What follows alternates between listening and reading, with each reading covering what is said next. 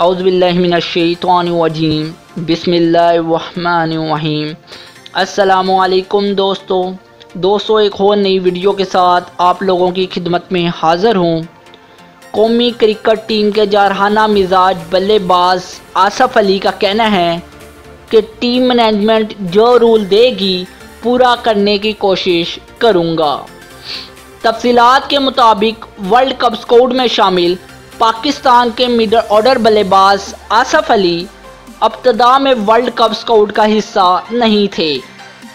تاہم، انگلینڈ کے خلاف پانچ ایک روزہ میچز کی سیریز میں آصف علی کی بہترین کارکردگی نے سلیکٹر کو ورلڈ کپ سکوڈ میں شامل کرنے پر مجبور کر دیا۔ دوستوں، ویڈیو میں آگے بڑھنے سے پہلے آپ دوستوں سے چھوٹی سی گزارش ہے اگر آپ لوگ کرکٹ کی لیٹسٹ نیوز دیکھنا چاہتے ہیں سب سے پہلے، تو بالکل فری میں ہمارے یوٹیوب چینل کو سبسکرائب کریں اور ساتھ میں گھنٹی کے بٹن کو پریس کرنا نہ بھولیں۔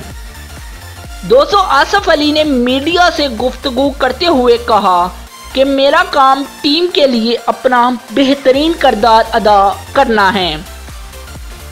ٹیم مینجمنٹ جو رول دے گی، پورا کرنے کی کوشش کروں گا۔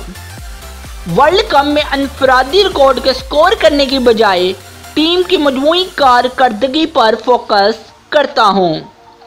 اور اجتماعی سکور میں اپنا حصہ شامل کرنے کو ترجیح دیتا ہوں۔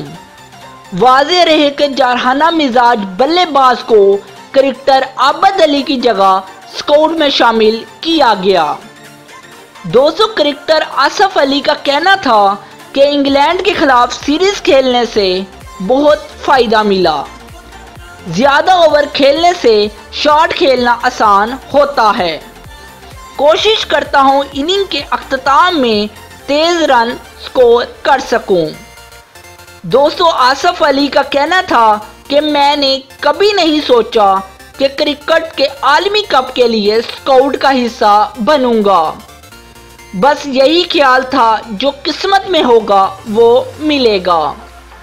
دوستو، یاد رہے کہ قومی کرکٹر آصف علی کی بیٹی امریکہ میں کینسر کے باعث انتقال کر گئی تھی۔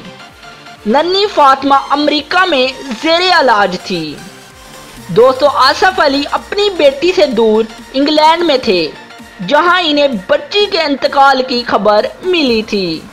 دوستو، جس کے بعد وہ پاکستان آگئے تھے۔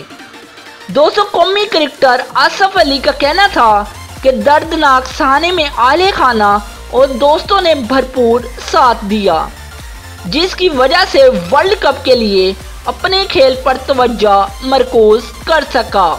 دوستوں، کیا پاکستان ورلڈ کپ جیتے گا یا نہیں، ہمیں اپنا جواب کومنٹ میں لازمی دیں۔